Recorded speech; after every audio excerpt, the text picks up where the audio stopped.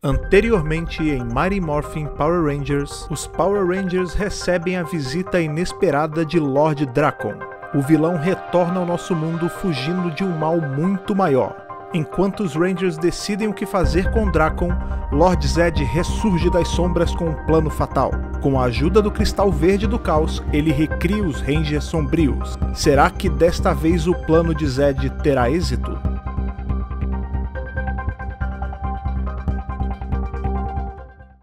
Olá Nação Ranger, tudo bem com vocês? Mais um review aqui no canal do Mega Power Brasil, dando continuidade aos eventos de Mighty Morphin Power Ranger. Chegamos hoje na edição de número 52. Mas antes de começar o vídeo de hoje, eu vou abrir um breve parêntese aqui, porque no vídeo passado, lá na seção de comentários, eu vi muita gente perguntando o que é Unlimited Power. É a próxima saga dos quadrinhos. O que é isso, Rafael? Então, gente, a gente já explicou isso em vídeos passados, mas eu vou reforçar aqui. Mighty Morphin Power Rangers vai até edição 55 em outubro.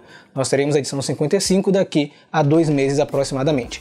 A partir de novembro vai começar uma nova saga chamada Unlimited Power. E o que vai acontecer com o quadrinho Mighty Morph Power Rangers? Ele vai se dividir em dois quadrinhos. O primeiro deles é o quadrinho intitulado apenas Mighty Morphin, que vai focar no Tommy, no Adam, Rock, Aisha, Billy e vai se passar na Terra. E nós teremos um outro quadrinho que é o Power Rangers, que vai focar nos Omega Rangers. E esses dois quadrinhos dão continuidade a Mighty Morph Power Rangers Rangers após a edição 55, então não vai ser um reboot, vai ser uma nova saga com dois quadrinhos separadamente. Eu acho que fica até mais legal pra gente ter aventuras mais focadas nos Ômegas e outras mais focadas nos Mighty Morphin Power Rangers. E já puxando esse gancho do Unlimited Power, tem algo que eu percebi na edição passada e está se concretizando nessa aqui. Na edição 51 foi uma edição mais focada nos Mighty Morphin Power Rangers e essa edição de hoje é mais focada nos Omega Rangers para ambientar você aí que vai acompanhar Unlimited Power Power a partir de novembro.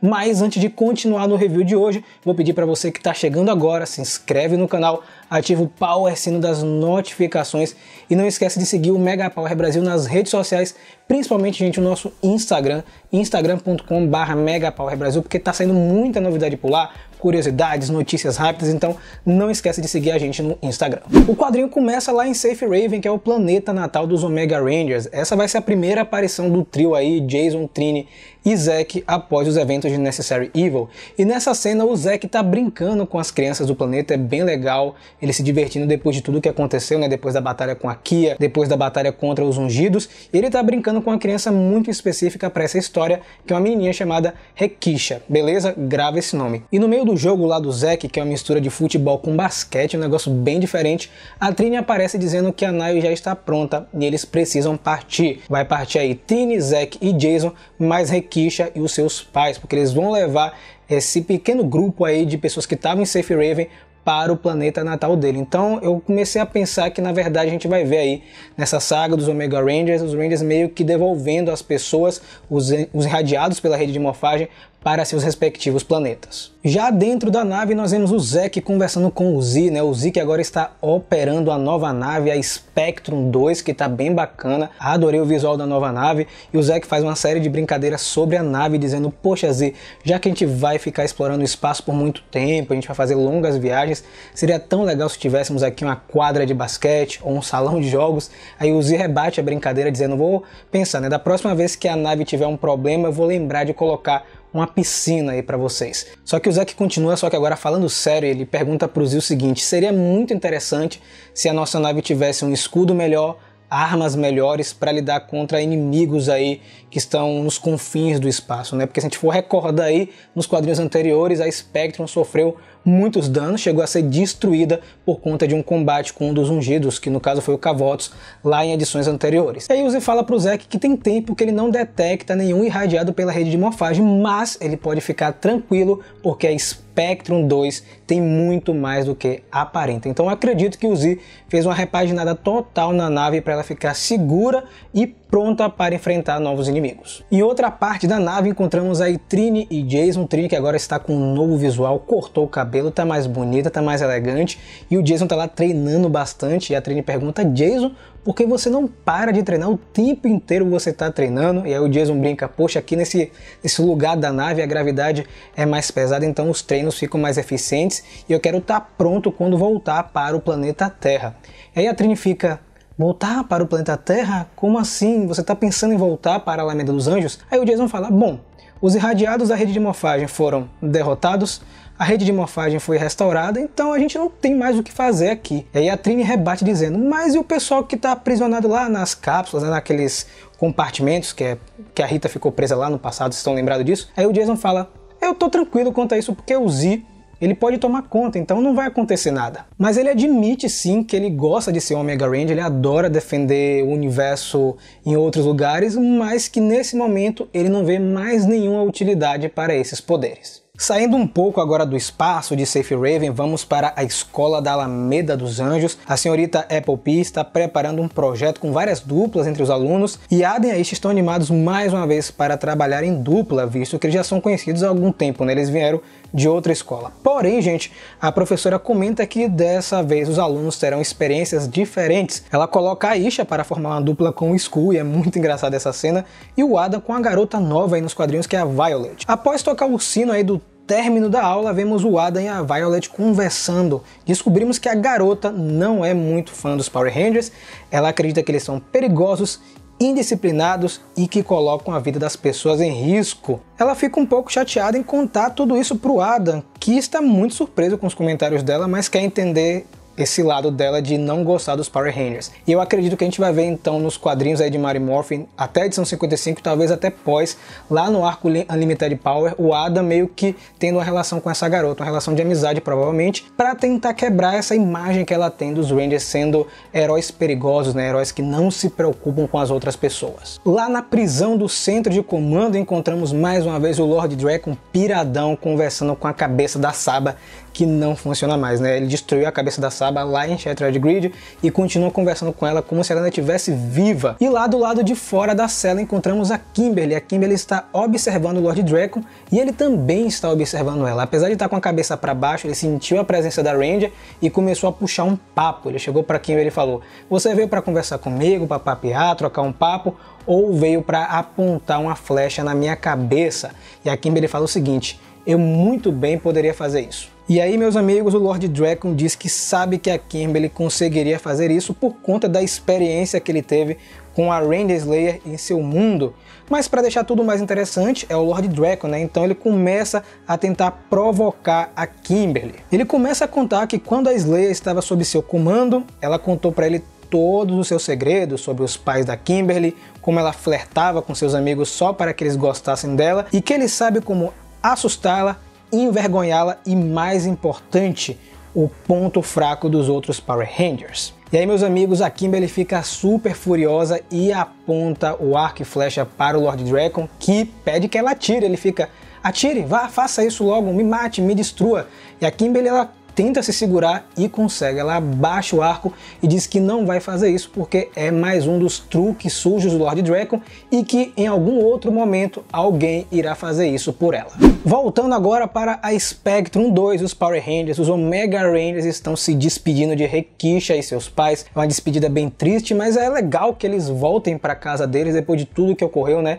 Que é o planeta Gorvinus 3 e o Zack está tendo uma última, última conversa, na verdade, com a Rekisha, brincando com ela, dizendo que foi ele que venceu aquele jogo maluco lá. E quando eles estão se preparando para chegar no planeta, acontece uma situação sinistra. O planeta está todo destruído. Rekisha e seus pais não querem acreditar no ocorrido e os Rangers imediatamente partem para a sala de comando para descobrir o que de fato aconteceu. O Z fala que um grande cataclisma ocorreu no planeta e tudo foi destruído, a população desapareceu. A Trini pergunta se isso pode ter sido um asteroide ou um terremoto, mas Z diz que não. Ele detectou uma grande quantidade de energia em nível celular ainda em atividade no planeta. E é nesse momento que o Jason assume a liderança, pedindo que Rekisha e os pais fiquem na nave enquanto eles morfam e vão em direção ao ponto de energia.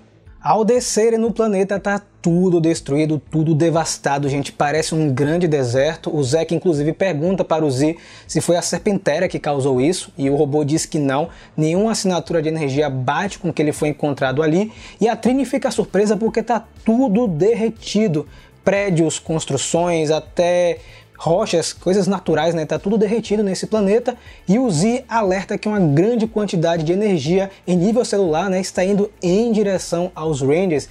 E meus amigos aparecem uns seres bizarros, parecem uns cachorros deformados, sei lá, seres de outro mundo e a Trini pergunta o que são esses seres, se o Z consegue detectar se é alguma espécie conhecida aí dentro do universo. Ele diz que não conhece, mas pela, pelo DNA deles é possível saber que são bactérias. Então a Trini fica contente em saber que eles são bactérias e começa a atacar esses monstros. A batalha é muito dura, gente. Os Rangers têm muita dificuldade em um primeiro momento para lutar com essas criaturas, porque elas possuem uma alta capacidade regenerativa. Então quando corta um pedaço, cresce outro, corta um no meio, vira dois, então fica uma confusão retada. E aí, quando os monstros começam a se regenerar rapidamente, os Omega Rangers se unem juntam seus poderes e lançam o Omega Strike para desintegrá-los. É a primeira vez que a gente vê esse golpe muito legal, como se fosse a junção das armas dele, mas não é bem a junção, né? Porque eles não juntam as armas, eles juntam os poderes e os monstros são apagados. E a gente acha que acabou, né? A batalha que não vai ter mais nada, porém vem mais coisa logo em seguida. Os Omega Rangers pedem para Z que os guie em direção à fonte de origem desse poder todo. O Z pede que eles tomem muito cuidado e muita cautela, porque o planeta está se moldando para atacar os Power Rangers. E a edição, meus amigos, termina encerra com os Omega Rangers sendo atacados por um ser sinistro que apenas diz o seguinte: os Omega Rangers, um nome adequado para vocês que chegaram ao fim. Bem, pessoal, é assim que a edição de número 52 termina com esse ser bizarro aparecendo, que é familiar, né? Porque se a gente voltar algumas edições anteriores, lá naquela coleção especial de capas variantes, essa criatura aparece com o ser que matou o emissário da rede de morfagem vermelho um ser meio disforme, ele não tem forma direita, tem vários braços e aparentemente é muito poderoso porque ele consegue manipular a matéria, ele conseguiu mexer no planeta, criar seres do nada e destruir tudo. Então, provavelmente nas próximas edições, talvez já na edição 53, nós teremos um combate direto com essa criatura, caso a Boom Studios não queira focar em Marimorph na edição 53, para a edição 54 ser focada nessa batalha.